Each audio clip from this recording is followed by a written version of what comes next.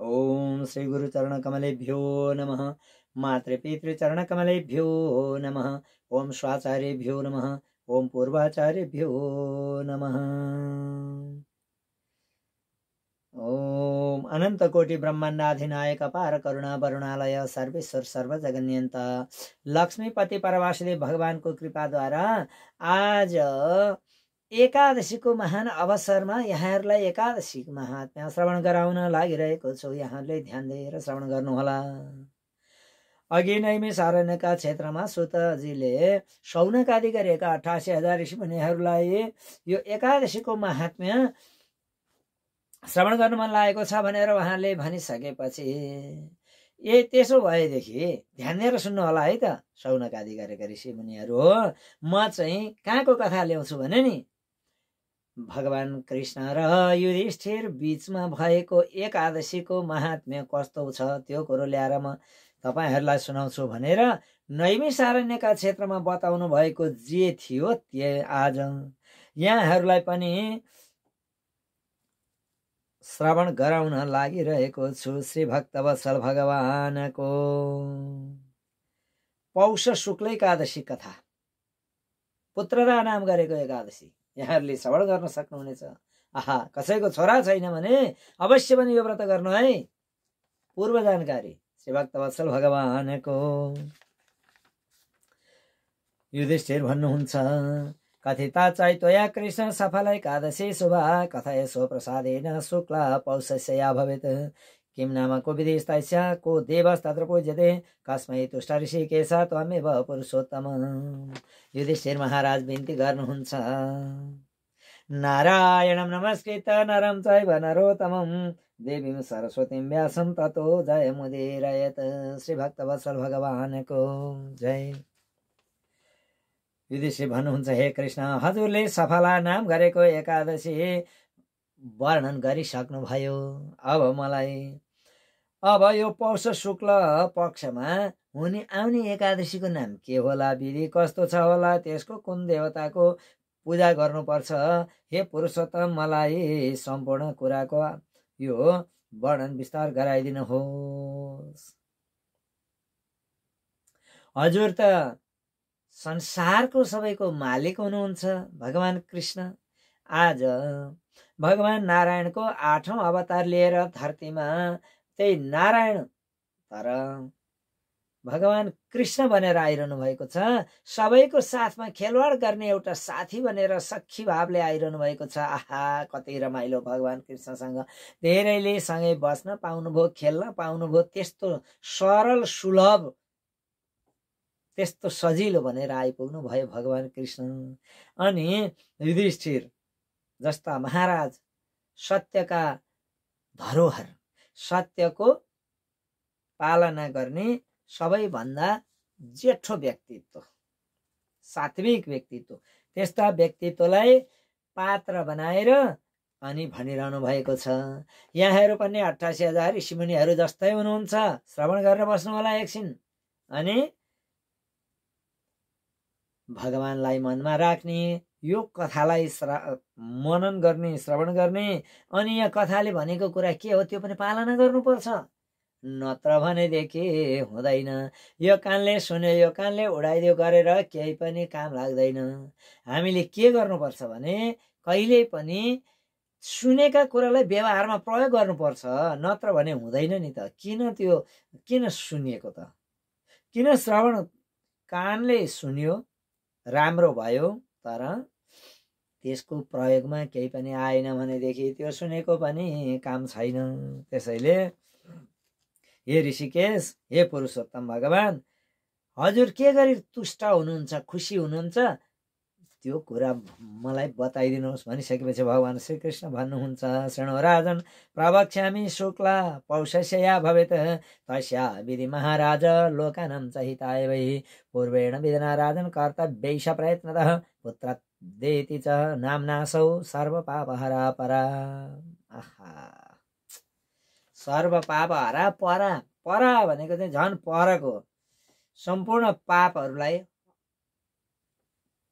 अपहरण गरिदिने।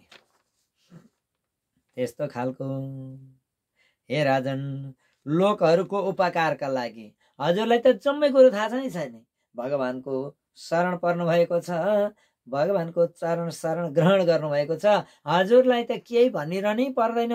तर हजुरले यो सोध्नु भएको प्रश्न छ नि यो त लोकानाम हित काम्या सम्पूर्ण लोकमा रहेका व्यक्तित्वहरूको लागि उनीहरूको हितको लागि पो भयो त यो काम त। आहा हजुरलाई त धेरै धन्यवाद छ भन्नुहुन्छ। म एकादशीको विधि पनि भन्छु हे राजन त्यो पनि श्रवण गर्नुहोला। यस व्रतलाई विधिपूर्वक जसले पालना गर्छ भने त्यसका सम्पूर्ण पापहरू छ्याय भएर जानेछन्। नारायणोधिदेवस्य कामदः सिद्धिदायकः। नातः परतरा काचित् त्रैलोक्यै सचराचरे विद्यावन्तं यशस्वन्तं करोति च नरमहरिः।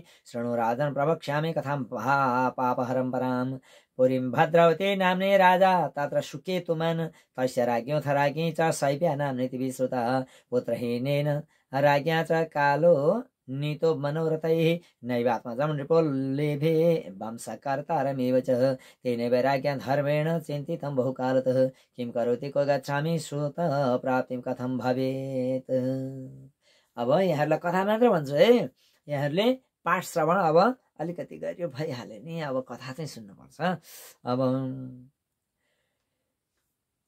यो सम्पूर्ण पाप क्षय गर्ने पापलाई नाश गर्ने एकादशी यस्तै एकादशी। अनि यो एकादशीको दिनमा चाहिँ के गर्ने त? कुन देवताको पूजा गर्ने भन्दा? भगवान् नारायण यसका मुख्य देवता। अब यो एकादशी कस्तो छन्? यो देवताहरू सम्पूर्ण व्यक्तित्वहरूले पनि यो एकादशीको पालना गर्नुपर्छ। अनि चर अचर। चल्ने र नचल्ने भने है? चर भनेको चल्ने खालका अचर भनेको नचल्ने। र तिनै लोकमा यी भन्दा ठुला कोही पनि छैनन् भनिएको छ। ल हेर्नु है। एकादशी एकादशीको महात्म्य चाहिँ कस्तो हुन्छ भने योभन्दा अर्को केही छैन भनिन्छ। यसको अर्थ के भने यसको अर्थ हुन्छ यो ठुलो कुरा हो। अब पन्ध्र दिन आउने एकादशी त्यो ठुलो कुरा हो। पनि होइन एकादशी ठुलो कुरा हो। अब त्यहाँबाट फेरि पन्ध्र दिनमा आउने एकादशी ठुलो हो। सबै ठुलो के? सबै ठुलो भएपछि त्यो ठुलो ऊ ठुलो समग्रमा एकादशी ठुलो। कस्तो ठुलो? सम्पूर्ण पापलाई क्षय गराउने। हेर्नुहोस् त यो सत्ययुगिन व्रत भनिन्छ यसलाई। अघि। अब सम्पूर्ण पापहरू हरण गर्ने त्यो एकादशी म त्यो एकादशीको महात्मा भन्छु है त? पहिलाको कथा है त? जुन कथा सुन्नाले त्यो भगवान्ले त्यो व्यक्तिलाई यशस्वी गराइदिनुहुन्छ। विद्यावन्तम यशस्वन्तम करोति च हरम नरम हरि। त्यो नरलाई त्यो व्यक्तिलाई हरि भगवान् परमात्मा श्री हरिले यशस्वन्तम बनाइदिनुहुन्छ। आहा यो कस्तो राम्रो छ यो धरतीमा। सबैले गुणगान गाउने खालको बनाइदिनुहुन्छ। यशस्वन्तम विद्यावन्तम त्यसले विद्या कतिको पढेको छ त्यही विद्याले उसलाई जिन्दगीभरि खान बस्न लाउन सबै पुग्ने खालको बनाइदिनुहुन्छ। चाहे जे जाने होस् त्यसले। हो त्यही भनिन्छ विद्या। विद्या हेर्नुहोस् मानिसले कति थोक जानेको हुन्छ? सबै थोक जानेको भए पनि त्यो व्यक्तिले केही नै केही पनि काम पाएको हुँदैन। त्यस्ता खालका व्यक्तिले चाहिँ के गर्नु पर्यो? यो एकादशीको व्रत गर्नु पर्यो। ल। धेरै वर्ष पहिले भद्रावती नाम गरेको सहरमा एकजना सुकेतुमा नाम गरेका राजा राज्य गर्दथे। उनकी रानीको नाम शैव्या सैब्या भन्ने थियो। उनीहरू छोरा सन्तान केही पनि थिएनन्। अनि धेरै चाहना गरे पुत्रको लागि धेरै चाहना गरे केही लाग्दैन। सन्तान छैन। धर्मको चिन्ता गरिरहने झोली मालामा श्री राधे राधे श्याम राधे श्याम राधे श्याम राधे श्याम जपिरहने नारायण नारायण नारायण हरे कृष्ण हरे कृष्ण जपिरहने त्यस्ता खालका व्यक्ति। अनि कुन प्रकारले सन्तान उत्पन्न उत्पन्न हुन्छ होला? कहाँ जाउँ? अब हामीलाई सन्तति कसले दिन्छ होला भनेर त्यत्तिकै साह्रै पिर मानिरहनुहुन्थ्यो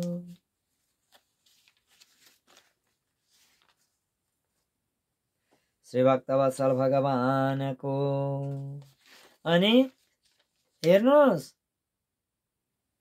संसारमा आफूभन्दा पछाडि आफ्नै आँखाले देख्ने गरी आफ्नै छोरा चाहिँ हुनै पर्छ। हजुरहरू जो श्रोतावर्ग हुनुहुन्छ हजुरहरूले पनि आफ्नो सन्तान यानि छोरा छैन भने छोरी र छोरा उही हो भन्ने कुरा हुन्छ नि। यो सन्तति वंशवृद्धि र आफ्नो सम्पत्ति खाने व्यक्तित्वको लागि छोरा नै चाहिन्छ। छोराले हाम्रो हिन्दू धर्म संस्कृति परम्परा अनुसार काज क्रिया गर्ने पर्छ छोरैले अनि त्यहाँबाट पिण्ड पानीको कर्म गर्नुपर्छ पिण्ड दिनुपर्छ छोरैले तर्पण दिनुपर्छ छोराकै हातले दिनुपर्छ। जस्तो होस् त्यही छोराले दिएको चाहिँ पितृले पाउँछन्। त्यसैले सन्तान उत्पन्न गर्नु त्यसमा पनि छोरा भएको राम्रो।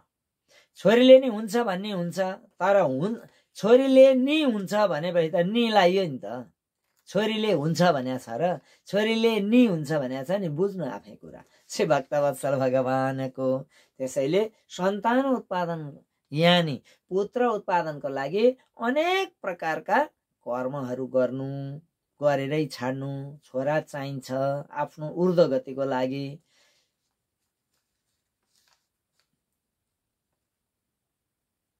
तस्मात् कारण पुत्र एक नभए होला न यताउता बाबा श्री हरिनाम सम्झनु हवोस् भन्ने छ छोरो भए गर्ला काज क्रिया पछाडि उसले आफू मरि गई गए। आफ्नो वंश रह्यो क्रिया पनि भयो कीर्ति रही लोकमा। पानी पिण्ड चल्यो उता दृढ भयो स्वर्ग आदिका भोगमा। हेर्नुहोस् त छोराको महत्त्व छ। त्यसैले यो छोरा नभएकोले यो कथा श्रवण गर्नुपर्छ र मनन गर्नुपर्छ चिन्तन गर्नुपर्छ अनि त्यही कर्म पनि गर्नुपर्छ। के गर्दा हुने रहेछ है? ल। सेभक्त वत्सल भगवानको। अब कस्तो हुन्छ भने यदि पुत्र छैन भने छोरा छैन भने स्वर्गको ढोका खोल्दैन अरे त्यो व्यक्ति मरे मरेर गइसकेपछि। यस्तो खालको कुरा भन्ने चलन छ। त्यसैले छोरा प्राप्त गराउनै पर्नुपर्ने तर भएनन् राजा र रानी सधैँ दुःखी भएर रहन्थे। अब केही सुख छैन। सम्पूर्ण कुरा छ। छोरा ए घोडा छ हात्ती छ दरबार छ है आफ्ना सुख शैल आयस आराम सम्पूर्ण छ तर सन्तति छैन। नभएपछि साह्रै प्रतिदिन दुःख भएर दुखित भएर रहेका छन्। रानी र राजा नित्य शोकमा मग्न भइरहेका छन्। आनन्दले शोकमा डुबिरहेका छन्। आनन्दले डुबेको होइन पीडाले डुबेको। पितृहरू पनि पितृहरूलाई पनि के हुन्छ भने पितृहरूलाई दिएको जल पनि उनीहरूले पाउँदैनन्। अनि राजा मरिसकेपछि फेरि आफ्नो वंशमा पनि कोही छैनन्। हामीलाई तर्पण दिने मान्छे भने कोही छैन किनभने खानु पर्यो नि पानी त छोराको हातले दिएको पानी पितृले पाउँछन्। यसमा हाम्रो परापूर्व कालदेखि ऋषिमुनिहरूले भनिआएको कुरा। अब कस्तो छ भने पितृहरू पनि यहाँको साह्रै दुखित भएको देखेर पितृहरू पनि साह्रै दुखित भएका थिए। यस दुःखको मूललाई जानेर राजा पनि दुःखी भए दुखी भएर मित्रहरू बन्धुहरू बान्धवहरू जनताहरू कहाँ गएर मन्त्रीहरू सम्पूर्णमा गएर अनि सबैलाई कुराकानी गर्दथे। समस्या के गरी समाधान हुन्छ भनेर गर्थे। आपसमा छलफल गर्थे। असाध्यै निराश भएका थिए। सम्पूर्ण कुरा ठिक छ सन्तति छैन छोरा छैन। अब के गर्ने? यसो टुकु टुकु हिँड्ने एउटा छोरो भइदिएदेखि हुन्थ्यो। ए बा भनोस् त्यो छोराले त्यो मिठो मुख। आहा त्यो पो हो त जिन्दगी। यसै गृहस्थी उसै गृहस्थी सन्तति नभएको घर त त्यो मसान घाट जस्तै हो। छोरा हुनुपर्छ छोरी हुनुपर्छ। पुत्रहीन मनुष्यको जन्मको केही पनि फल छैन। नरस्य पुत्रहीनस्य नास्ति वै जन्म न फलम्। अपुत्रस्य गतिर्नास्ति स्वर्गे नैव च नैव च। अपुत्रस्य गृहम शून्यम हृदयम दुखितम सदा सधैँ दुखित भइरहेका छन्। जता फर्क्यो अन्धकार मात्रै छ यसो छोरा सन्तति भइदियो कति राम्रो हुन्थ्यो। निसन्तान भएर रहनु कति नराम्रो दुर्भाग्यको कुरा। आफ्नो शरीरलाई पनि क्षीण हुन लागिसक्यो सकिसक्यो मर्न लागिसके त्यो दुःखले पीडाले अचेत हुन्छन् बेला बेलामा। अनि ओहो यस्तो गरेर दुःख मानेर हुन्छ भनेर आफैले चित्त बुझाउनुहुन्थ्यो राजा सुकेतुमान राजा। राजा घोडामा चढेर घोर वनमा जानुभयो। हेर्नुहोस् त। वनमा जानुभयो।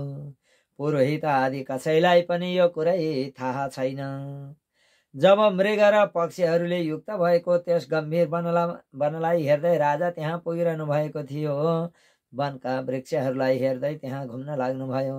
अनेक प्रकारका बर पिपल बेल खजुर कटहर मौलासिरी सप्तपर्ण तिलक आदि गरेका अनि साल तमाल ताल सरल हिङ्गोट अर्जुन पाटन खैर सक र पलास यी सबै वृक्षहरूले सुशोभित भएका। त्यस्तो त्यति राम्रो वन हेर्नुहोस् त त्यस्ता वनमा चाहिँ फेरि के के छन् त भन्दा?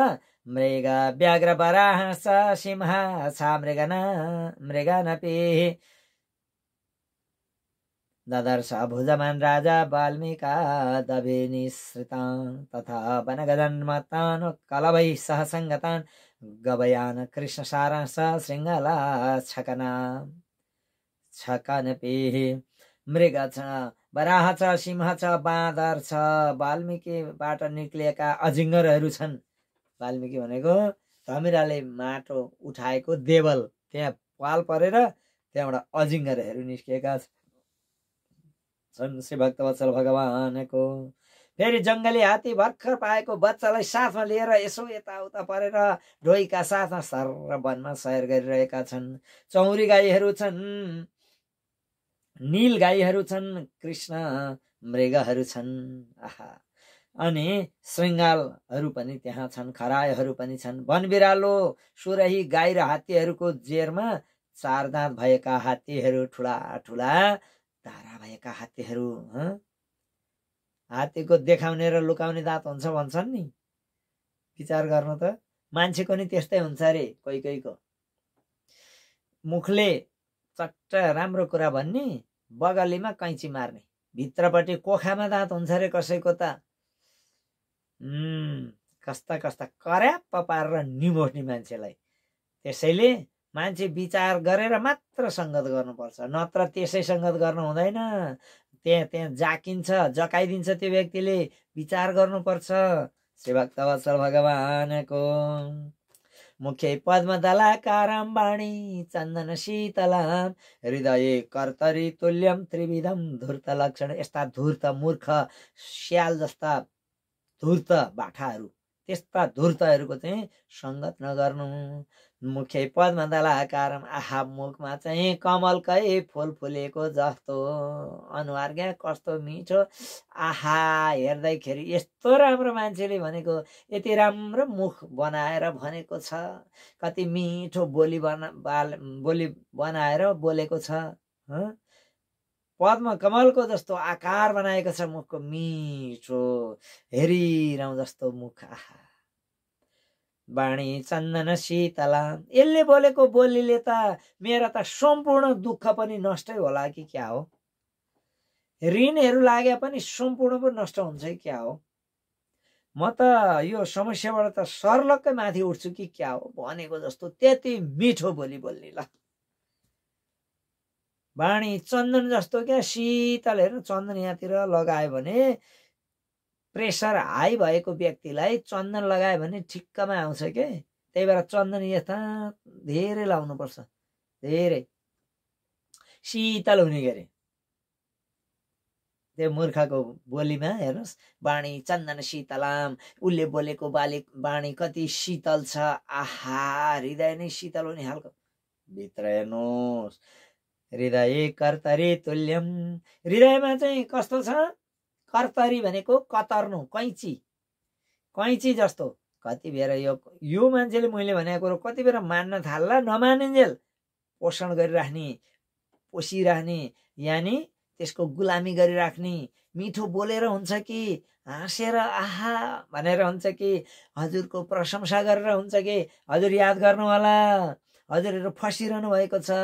कसैले पनि कोही मान्छेले मिठो बोली बोल्यो भनेर त्यसको पछि नलाग्नु है। यो कलियुग हो। मूर्खहरूले मिठो बोली बोल्छन्। सज्जनहरूले अर्कालाई फसाउन खोज्दैनन् जस्तो तस्तो बोली बोलिदिन्छन्। तर मूर्खले के गर्छ? धुर्त बाठाहरूले केही लिन खोजेका छन् भने यसरी अङ्कुशे बनाइरहेका हुन्छन् शब्दले। मुखले अङ्कुशे बनाएका हुन्छन् शब्दले अङ्कुशे बनाएका हुन्छन् व्यवहारले अङ्कुशे बनाएका हुन्छन्। हो क्यारे है आहा भन्यो। साँच्ची मसँग यति पैसा थियो एकछिन राखिदिनु न। आमै भइहाल्छ नि। ठिकै छ त। राखिदियो त नि पछि फर्केर आउँदा मान्छे त्यहाँ छैन। विदेशबाट एकजना व्यक्तिले एयरपोर्टमा आइपुगे आइपुगिसकेपछि त्यहाँ उताबाट ल्याएको सामग्री एउटा ट्याक्सीले लग्यो। लगिसकेपछि लग्यो लगिसकेपछि ल मेरो कोठा यही हो। त्यसैले यो कोठामा यो सामान कोरेर एकछिन बसिदिनुहोस्। अनि म चाहिँ अर्को साथी लिएर आउँछु। यो अहिले अब एकैचोटि भित्र प्रवेश गर्नको लागि ठाउँ छैन। हजुर पनि यहीँ बस्नुपर्छ। यहीँ बस्नुहोस् भनेर ड्राइभरलाई भनिराख्यो। ड्राइभरलाई भनिसकेपछि एकछिन पछाडि अर्को मान्छे आइपुग्यो। ओहो हाम्रो साथी आउनु भएको रहेछ। उहाँको यो सामान आइपुग्यो। ल धन्यवाद भनेर ऊ हिँड्यो। हिँडिसकेपछि ऊ कता गयो कता गयो? आउँछु भने साथी। आउँदै आएन ड्राइभर। बिचरा बेलख बन्द अनि उनीहरूले सल्लाह गरेछन् थोरै रुपियाँ है मूर्खको पहिचान मात्रै हो। थोरै रुपियाँ त्यति रुपियाँलाई चार पाँच सय कति लिन खोजेको थियो त्यो ड्राइभरले त्यति रुपियाँ त्यसले लिन पनि पाएन छैन। सही घटना हो यो। ड्राइभर अलमल्ल बेलखा बन्दमा परेछन् बिचरा। के गर्नु त अब? दिँदैनन्। एउटाले ल्याएर यहीँ बस्नु भन्छ अर्कोले मेरो साथीको यो भन्छ लिएर जान्छ अनि उसलाई दिनुपर्ने त्यो ट्याक्सी भाडा छैन। सानो कुरा। यसरी मान्छेले अर्कालाई दिगदार बनाउँछन् के? सानो कुरामा। त्यसैले त्यस्ता त्यस्ता खराब व्यक्तिहरूले कसैलाई राम्रो भने भन्दैमा प्रशंसित भई भनेर त्यो प्रति पुरै विश्वास गर्नु पर्दैन। किनभनेदेखि मान्छेले जब मूर्खले प्रशंसा गर्यो भने केही लिनको लागि प्रशंसा गर्दैछ। मूर्खले। सज्जनले अर्काको प्रशंसा गर्दैनन्। मूर्खले प्रशंसा गर्छ। किन? त्योबाट लिनु छ केही भनेर गर्ने हो के? सज्जनले भगवान्को प्रशंसा गर्छन्। ठुला मान्छेलाई प्रशंसा गर्नै पर्दैन। ऊ आफै प्रशंसित उसको गुणद्वारा प्रशंसित भइरहेको हुन्छ। श्रीभक्तवत्सल भगवानको अनि अनेक प्रकारका ठुला ठुला दृश्यहरू देख्दै देख्दै ती राजा अनि विभिन्न पक्षीहरूलाई पनि देख्दै देख्दै दिउँसोको समय पनि बिताउन लागे। छित्रुड भ्याम पीडितो राजा इतश्चे तश्च धावती तिर्खा लाग्यो राजालाई। तिर्खा लाग्यो यताउता चिन्ता यामास नृपति सशुष्क गलकन्धर। एकदम सुकेर आयो मुख गला पनि सुकेर आएको छ। के गर्ने के गर्ने? भनेर यताउति प्यासले दगुरिरहनु भएको थियो। मया तु किं कृतं कर्म प्राप्तं दुःखं यति यदि दृशं। मया च तोषितादेव यज्ञैः पूजाभिरेव च। तथैव ब्राह्मणदानैस्तोषितमिष्टभोजनैः प्रजाश्चैव तथा कालं पुत्रवत् परिपालितः। मैले कुन चाहिँ त्यस्तो कर्म गरेको छु जसको कारणले गर्दा मलाई दुःख मिल्यो वनमा गएर पनि यही सम्झिन्छ के चाहिँ गरेको थिएँ होला बाबा मैले आज यो धरतीमा आएर कति दुःख भोग्नु परेको छ। मैले त पूजा पनि गरेको थिएँ देवताहरूलाई सन्तुष्ट नै गरेको थिएँ समय अनुसार। प्रजालाई पनि आफ्नो पुत्र जस्तै गरेर मानेको थिएँ प्रजा पालन गरेको थिएँ। तर आज मलाई यस्तो समस्या परिरहेको छ। पनि कुनै पनि ब्राह्मणहरूलाई बोलाएर फेरि मिष्टान्न दक्षिणा अन्तिममा सिधा दक्षिणा गरेर मात्र पठाउने गरेको थिएँ। मैले अङ्ग पुरा गरेर मात्रै कर्म गर्ने गरेको छु। कुनै पनि ब्राह्मणले यस्तो भइदिए हुन्थ्यो भन्ने पारेकै छैन। दिन त आफ्नो गच्छे अनुसारले दिने हो। दिएर कसैलाई पुग्दैन तर उनीहरूलाई चित्त बुझाउने गरेको थिएँ। मिष्टान्नहरू भोजन गराउँथे। सबै काम कुरा व्यवहार राम्रो गर्दा गर्दै पनि मलाई यस्तो दुःख किन मिलेको होला? हे भगवान्! भनेर अदा असाध्यै उदास भएर घनघोर वनमा गएर गइरहेका छन्। केही अगाडि अगाडि जाँदाखेरि कुरो के हुन्छ भने आफूले गरेका पुण्यको प्रभाव समस्या परेको बखतमा ठिक्क परेर त्यो आफूले गरेको पुण्य मूर्तिमान भनेर त्यसलाई समस्या समाधान गर्न आइपुग्छ। यति बेर राजालाई आइपुग्यो। के आइपुग्यो? आहा कति रमाइलो। एउटा मान सरोवर भव्यको कमलका फुलहरू फुलिरहेका छन्। कुमुदिनी नाम गरेका पुष्पहरू फुलिरहेका छन्। त्यस्तो सरोवरलाई त्यहाँ देख्नुभयो। धेरै माछाहरू कहिले डुबुल्की मारेर माथि माथि आउने अनि जलचरहरू टन्नै भएका कमल फुल फुलेका राजहंस राजहंस चकोर आदि गरेका विभिन्न चराहरूले। अनि उनीहरू कराउँदाखेरिको त्यो कस्तो रमाइलो पनि त्यहाँ भइरहेको छ। आहा त्यो कुरो राजाले देखिरहेका छन्। सरोवरका समीप राजालाई लक्ष्मीवान अर्थात् ऐश्वर्यवान धेरै मुनिहरूको आश्रमको शुभ फलमा त्यो फललाई त्यो फल त्यहाँ आफूले गरेका शुभ कर्मको फल त्यहाँ आएर सम्पूर्ण कुरा कुराहरूको दर्शन गराइदियो त्यो फलहरूले। के फलले अस्ति कर्म गरेको थियो? त्यो फल गाई ब्राह्म गाई ब्राह्मणलाई दान दिएका थिए त्यो फल परोपकार गरेका थिए वारीबाट पारी जानको लागि समुद्र यानि ठुलो नदीमा पुल हालिदिएका थिए। हेर्नुहोस् पुल हाल्नु जस्तो ठुलो कर्म त केही पनि छैन। मानिस कत्रो बाटो गरेर दुःखले कति टाढाबाट घुमेर आउनु पर्थ्यो भने त्यहीँबाट फुता आउन पाए कति खुसी भए कति त्यसैले हो त्यस्तो भएर आफूले गरेका पुण्यका प्रभाव यहाँ हुन थाल्यो। अब त्यहाँ चाहिँ कस्तो रमाइलो भयो भने सरोवरको किनारमा मुनिहरूले वेद मन्त्र जप गरिरहेको देख्नुभयो आहा कस्तो रमाइलो। घोडाबाट उत्रेर ती मुनिहरू सम्पूर्णलाई राजाले अनि प्रत्येकलाई पृथक पृथक साष्टाङ्ग दण्डवोत प्रणाम गर्न लाग्नुभयो। नमस्कार गर्न थाल्नुभयो। अनि हात जोडेर बिन्ती गर्नुहुन्छ। राजा धेरै खुसी भएर मुनिहरू पनि खुसी हुनुभयो भन्न लाग्नुभयो कि? तपाईँलाई ठिक छ होइन त? भनेर सोधेको कथय स्वाद्य भई राजन यतै मनसी वर्तते हे राजन अब तपाईँको के नाम हो? तपाईँ यहाँ किन आउनुभएको हे? तपस्वी गणहरू तपाईँ को हुनुहुन्छ? अनि तपाईँहरूको नाम के हो? भनेर भन्न लाग्नु भयो। मुनिगणहरूले तप वर वरदान माग तिमी को हौ? कहाँबाट आयो? के कसो? भनेर भनिसकेपछि राजाले भन्छ तपाईँ चाहिँ को हो?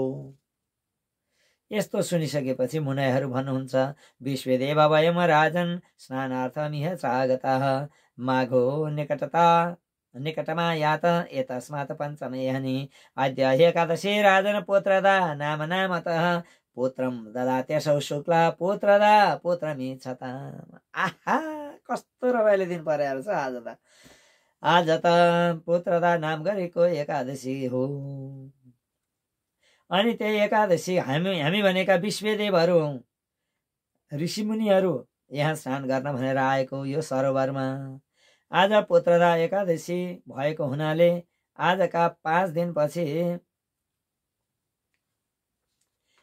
माघ अनि मकर मेला यहाँ लाग्छ।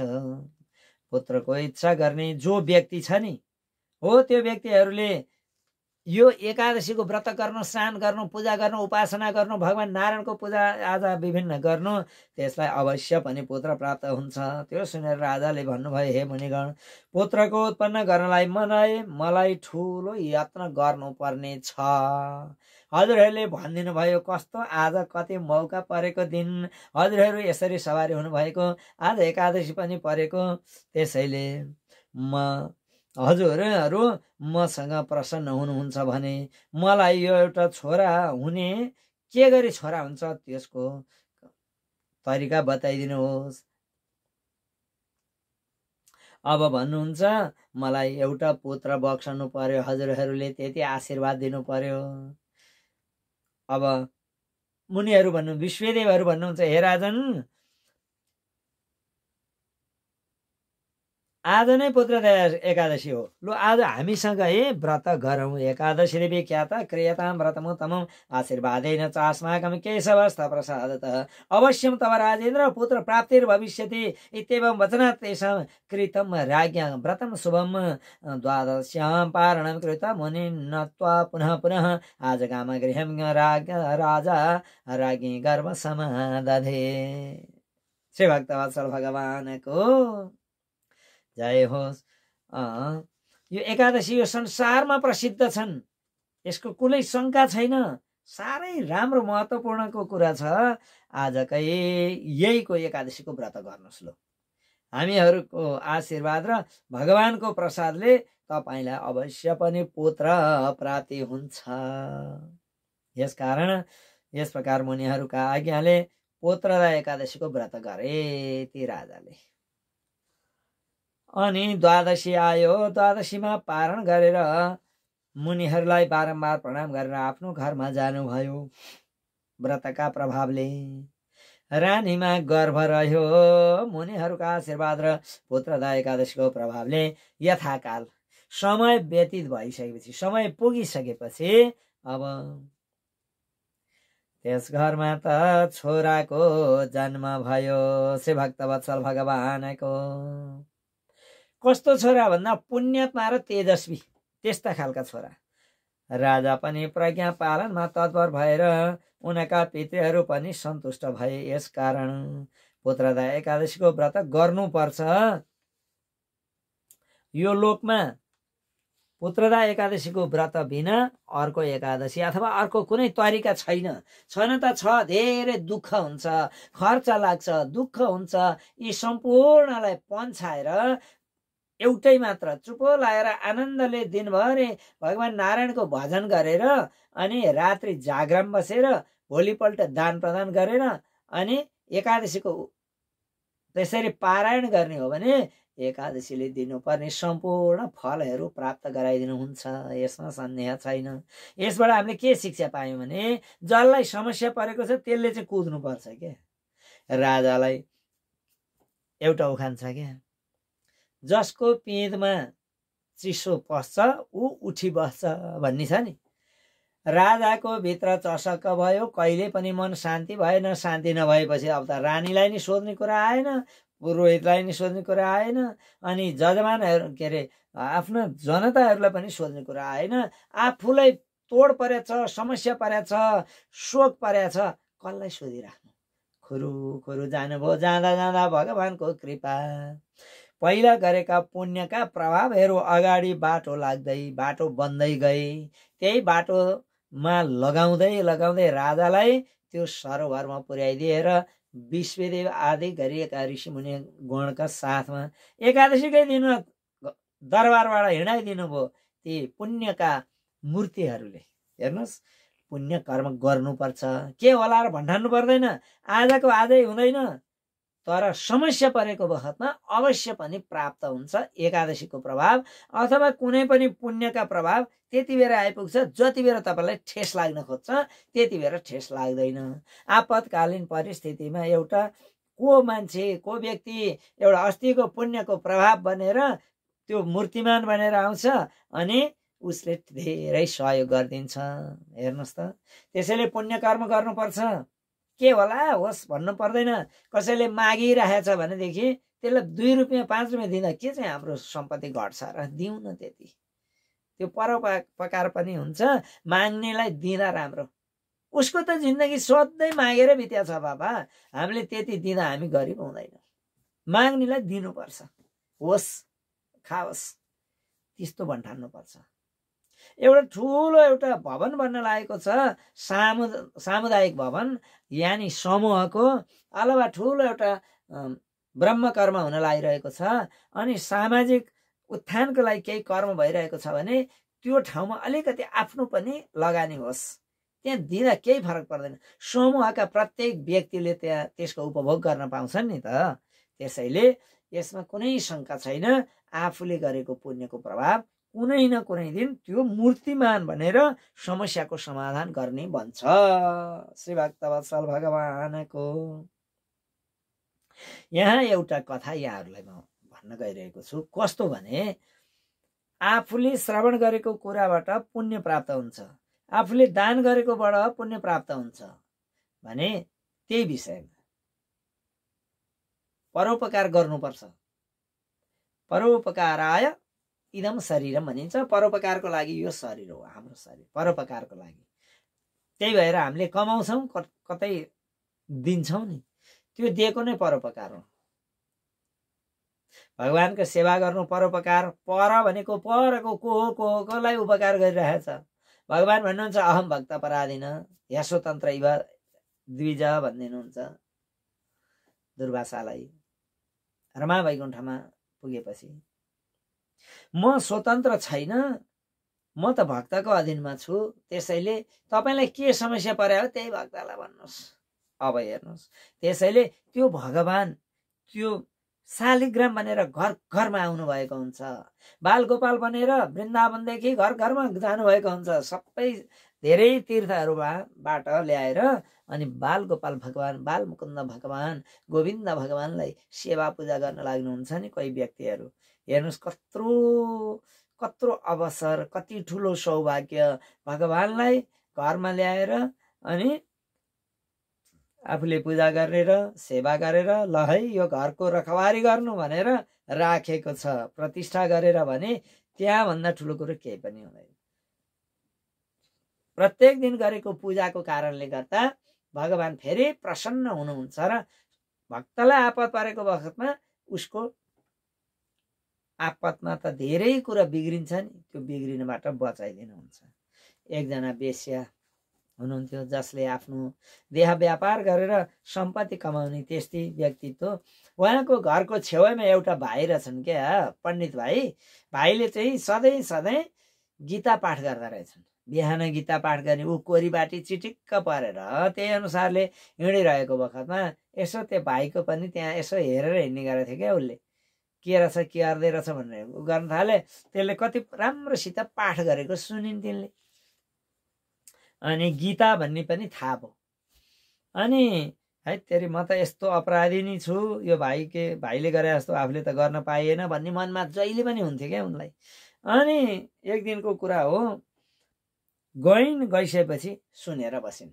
सुन्दाखेरि त सुनिसकिन् एक अध्याय सक्यो। अब त जानुपर्छ उता ढिलो नै हुन्छ सहरतिर बजारतिर भनेर जाँदा जाँदै अनि बाटोमा जाँदाखेरि त एउटा दोजिया गाई एउटा ठुलो किचडमा दलदलेमा फसिराखेर छन्। पानी खाने भनेर पर गएको जानै सकिनछन्।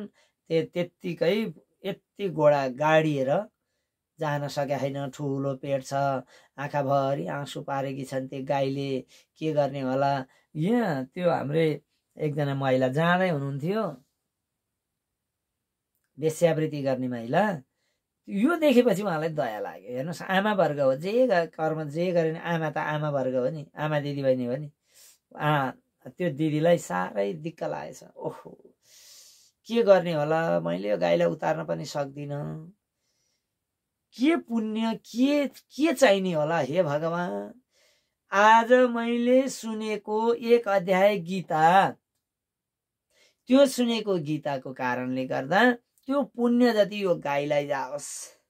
अनि यो गाईले त्यहाँबाट त्यो हिलोबाट फुत्किएर बाहिर निस्किन सकोस् भनेर भगवान्लाई आँखा चिम्लेर हे भगवान् त्यो भाइले गरेको प्रत्येक अक्षर अक्षरको कारणले गर्दा भगवान् खुसी भएर मैले सुनेको त्यो सुनेको केही पुण्य पाउँछु होला नि। त्यो पुण्य चाहिँ आज त्यो गाईलाई जाओस्। त्यहाँबाट त्यो पुण्यले गाई त्यहाँबाट बाहिर निस्किन सकोस्।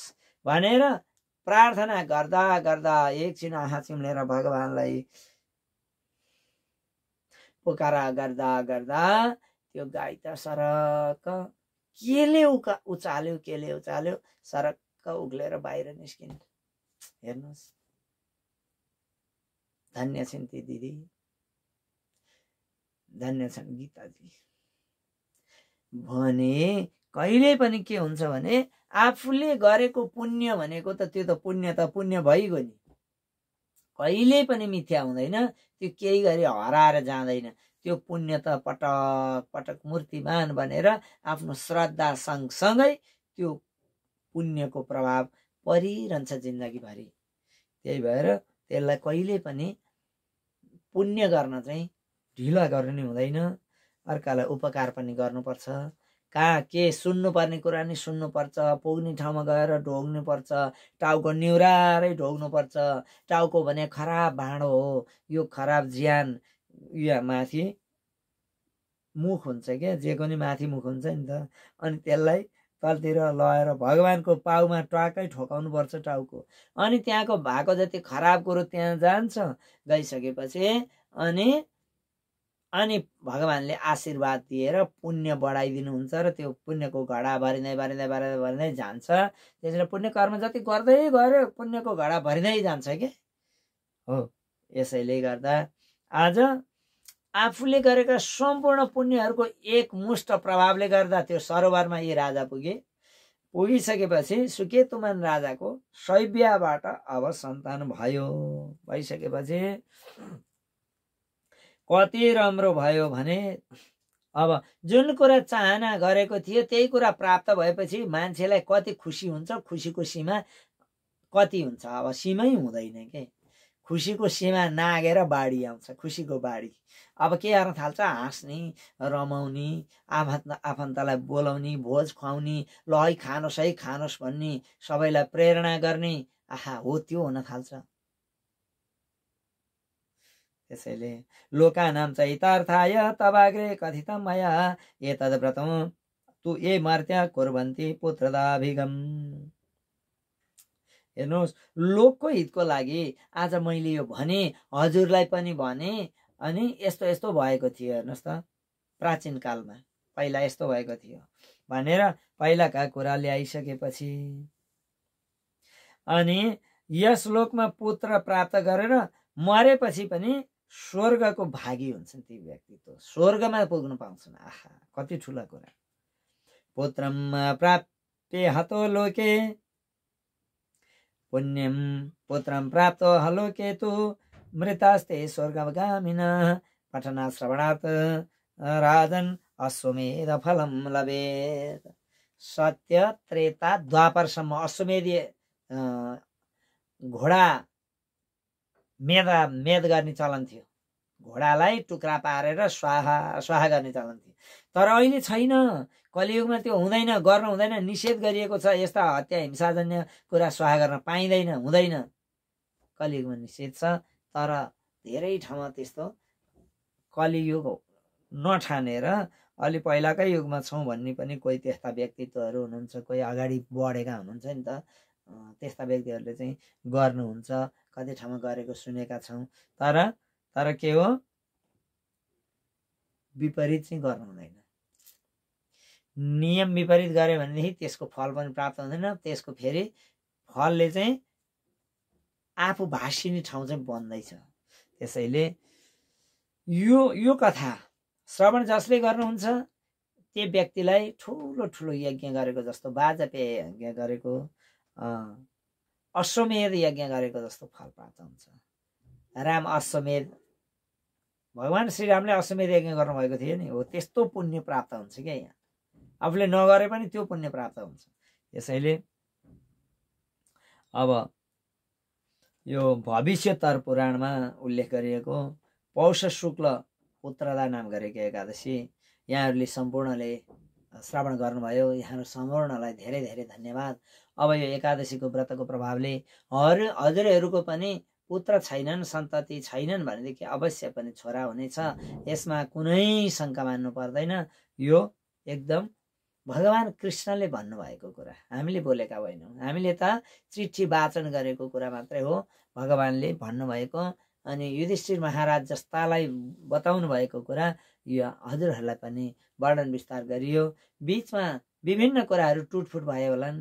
के के भए कसो भयो के भन्न खोजेको के भयो कि यस्ता कुराहरूलाई चाहिँ फेरि ए यस्तो रहेछ नभनिदिनु होला। किनभने भन्दै जाँदा केही न केही त्रुटि हुन्छ।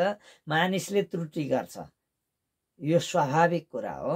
त्यसैले यस सम्पूर्णलाई त्यहीँ राख्दै यसको मर्मलाई बुझेर व्यवहार गरिदिनु होला भन्दै र यति बेरसम्म यहाँहरूले कथा श्रवण गर्नुभएको छ। पुत्रदा नाम गरेको एकादशीको व्रतको प्रभाव। यो अर्को वर्ष यहाँहरूलाई फेरि यो पुत्रदा एकादशीको महात्म्य फेरि भन्ने छु त्यो बखतसम्म यहाँहरूले कमेन्ट गर्नुहोला यो कथा श्रवण गरेर मेरो छोरा भयो भनेर हजुरहरूले भन्नुहोला अवश्य पनि छोरा प्राप्त हुन्छ पुत्र प्राप्त हुन्छ। यो ख्याल कुरा होइन साँच्चै कुरा हो। के गर्नुहोस् भने यो पुत्रदा एकादशीबाट व्रत गर्न सुरु गर्नुहोस् अनि के हो कसरी गर्नुपर्ने हो एकादशीको व्रत त्यही अनुसारले गर्नुपर्छ नि फेरि। जसो तसो गर्ने होइन। नियम के छ त्यही अनुसारले गर्दै यो चौबिसवटा एकादशी अनि पूर्ण रूपले एउटै किसिमले गर्नु होला अनि भगवान् प्रसन्न हुनुहुन्छ। एकादशी माता प्रसन्न भएर आफूलाई चाहिएको कुरा छोरा मात्र होइन उत्तम छोरा गुणी छोरा र श्री सम्पत्ति पनि प्राप्त हुन्छ। यसमा कुनै शङ्का छैन धेरैको भएको छ। यो ख्याल कुरा हुँदैन। शास्त्रीय मर्यादालाई रा त्यसलाई कायम राख्दै आफ्नो आचार नियमलाई कायम राख्दै गरिएका सम्पूर्ण व्यवहारहरू फलदायी हुन्छन्। यसमा कुनै शङ्का छैन। यहाँहरूले यति बेरसम्म श्रवण गर्नुभएको छ। यहाँहरूले तन मन वचनले आँटेका कुराहरू सोचेका कुराहरू परिपूर्ण भएर जाउन् अनि आफ्ना सन्ततिहरू कतै बाहिर छन् विदेशमा छन् भनेदेखि पनि उहाँ उनीहरूको सुख सन्तोष होस्। अनि हजुरहरूको सन्तान छैन भने सन्तान अवश्य हुन्छ। यसमा शङ्का छैन। व्रत गर्नुहोस् न। व्रत गर्नुहोस्। व्रत गरेपछि अवश्य पनि हुन्छ। यसमा कुनै पनि अलिकति पनि शङ्का लियो भनेदेखि चाहिँ अनि शङ्काले लङ्का हान्छ। हुँदैन। हुँदैन होला त्यसै भने यसले भन्नु नभन्नु होला। अवश्य पनि हुन्छ। यसमा शङ्का मान्नु हुँदैन। हस्त नमस्कार जय श्रीमन नारायण आफूले गरेको आफैलाई हुन्छ है। यो चाहिँ सम्झिरहनु होला। अर्काको लागि गरेको भनेको होइन। आफ्नो लागि गर्नुहोस् एकादशीको व्रत गर्नुहोस् आफ्नो शरीर शुद्धिकरण हुँदै हुँदै जान्छ रोगहरू हराउँदै हराउँदै जान्छ भित्र हृदयमा भगवान्को बास हुँदै जान्छ अनि जिन्दगीमा त्यसले प्राप्त गर्ने कुरो गर्नुपर्ने कुरा प्राप्त गर्दै गर्दै गर्दै जान्छ। यति भन्दै अहिले विश्राम लिन्छु। हस्त जय श्रीमन नारायण